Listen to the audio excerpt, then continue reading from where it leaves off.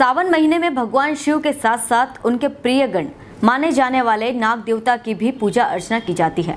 मंगलवार को देश भर के नाग मंदिरों में भगवान नाग देवता की आराधना की गई। बैटमा क्षेत्र में भी स्थित नाग मंदिरों में सुबह से ही भक्तों की भीड़ बनी रही।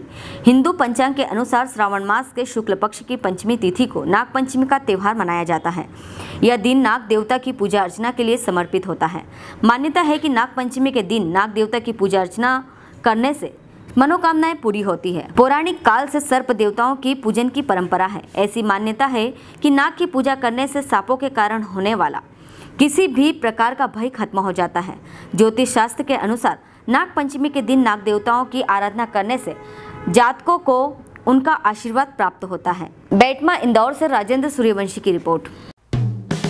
हेलो फ्रेंड्स आप देख रहे हैं हमारा channel S W twenty four news हमारे सारे वीडियो सबसे पहले देखने के लिए आप हमारे चैनल को सब्सक्राइब करें और पास में लगे बेल आइकन को दबाना बिल्कुल भी ना भूलें।